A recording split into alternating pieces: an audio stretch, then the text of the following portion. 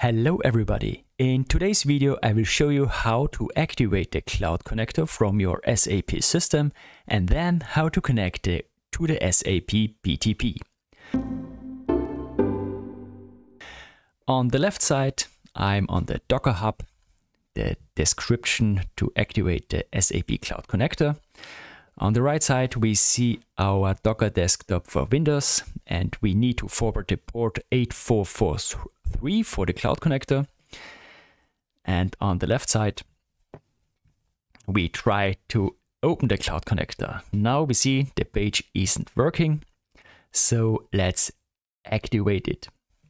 For this, we open a terminal window, the Windows PowerShell, PowerShell and then we write here the command docker exec minus it a4h bash. And then we can add the command here. Slash user. Slash local sbin r c s c c daemon start. Then we press enter. We see the daemon is started. Now we can check the status with docker exec minus it a4h bash. And again the path user local sbin rcscc daemon status. And we see the daemon is started. So now we can open the SAP Cloud Connector. Here we press F5, okay, bad request, because we need here HTTPS. So we add the S here, press again, okay, then we click on advanced and proceed to localhost. And now we see the login window of the Cloud Connector. Then we need the username and the password, and we find this in the description.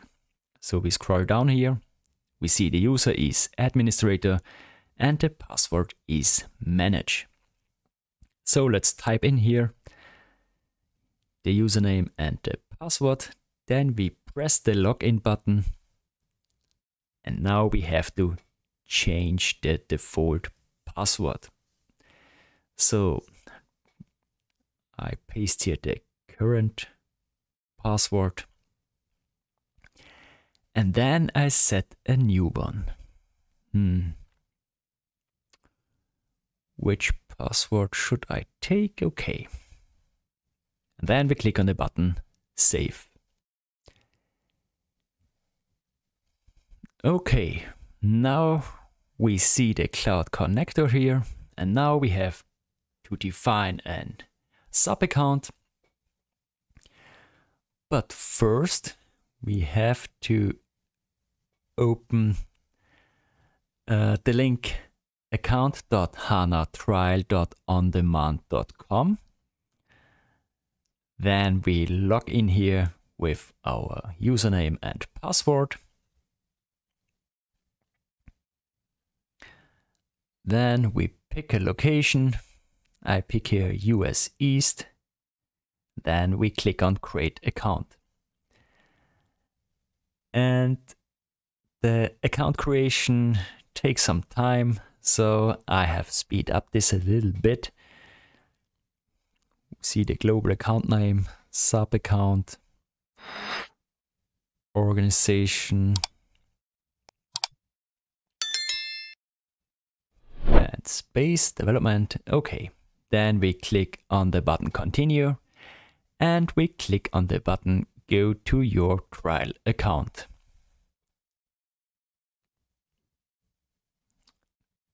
Now we see in the BTP cockpit the new sub account. And then I open another window on the left side.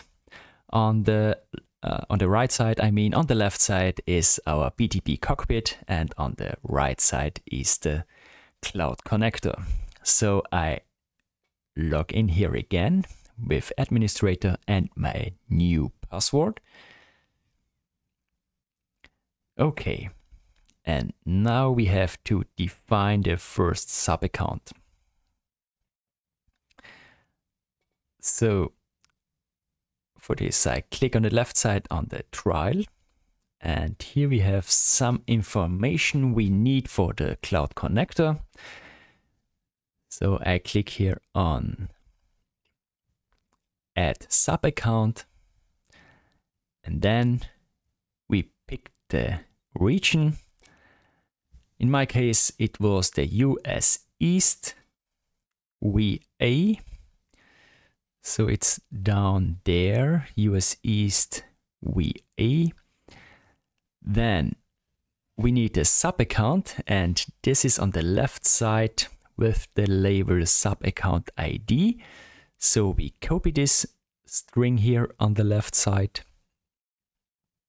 and we paste this string here in the sub account field. Then we need a display name. You can pick uh, you can pick a name, every name you want.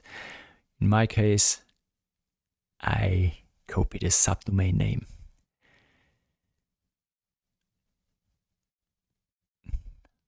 Then I type here the login email.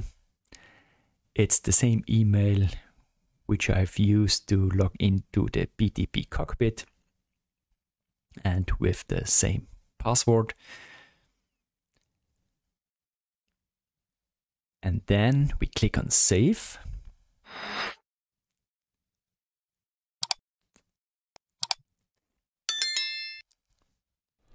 Okay. So next, on the left side, we click on Cloud Connectors. We see here connected. Then we click again on Overview and on the right side on Cloud to On-Premise. Then we click on plus. Backend system is ABAP system. The protocol is HTTPS. And then the internal host. Here I type the IP address from my on-premise ABAP trial system. The internal port is 50001 for HTTPS. The virtual host, I type here S/4HANA. Port is the same. Then I uncheck this, click on next, next, next, and next. Then we check the internal host and we click on finish. Okay, the check result is not reachable. So we click on the details and we see here the problem is the certificate. We have a certificate issue here. Okay, so to solve this pro problem, we log in uh, with the SAP GUI in our SAP trial system. So I do this now. Here we are in our SAP system. And then I type here the transaction STRUST double click on SSL server standard. And then we see here the our own certificate, dummy no domain, self-signed. We scroll down here to the certificate and we export this certificate. We pick a file path.